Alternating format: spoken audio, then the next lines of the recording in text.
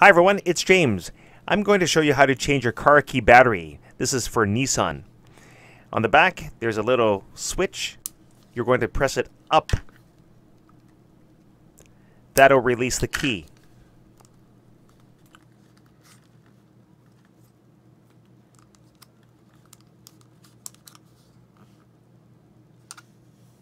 Next, you're going to need a very small flathead screwdriver.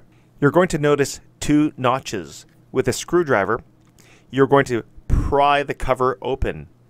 Do this gently. You want to be able to split this cover open.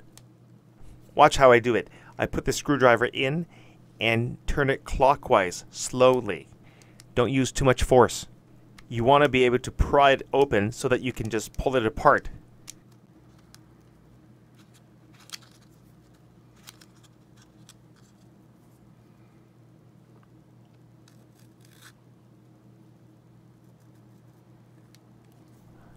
I just use my fingers.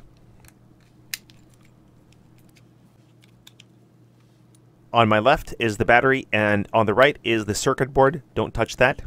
Notice how the battery is placed. With the same screwdriver, I'm going to pry it out.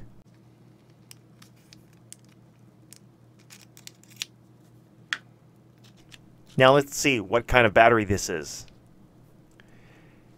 This is a lithium battery it is by Panasonic CR2032 3V. You can get this kind of battery just about any place. Make sure you get the right battery. Alright? Time to get a new battery. I'm back with the new battery, CR2032 by Maxell. It cost me 209 yen, about $2 US.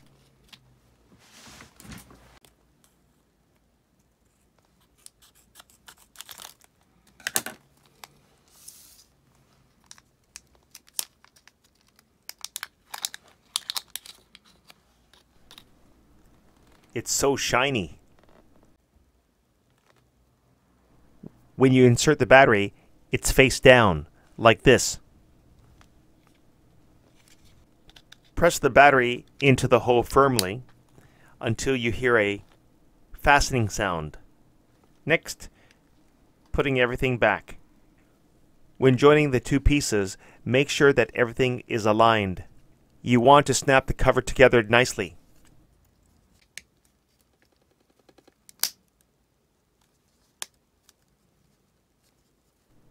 There. Perfect. Now to put the key back in.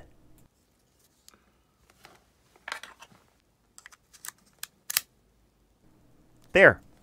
And that's how to change your car key battery. Thanks for watching, guys. Like and subscribe to my channel. Bye.